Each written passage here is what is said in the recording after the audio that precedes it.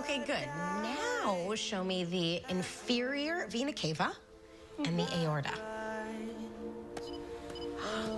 Wow, you are a natural.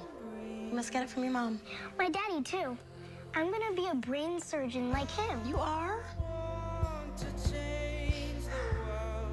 I miss him.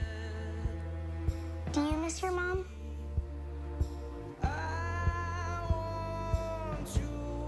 Every day. Want to know what my mom would say? She would say, even though your mom's not here, she's always with you.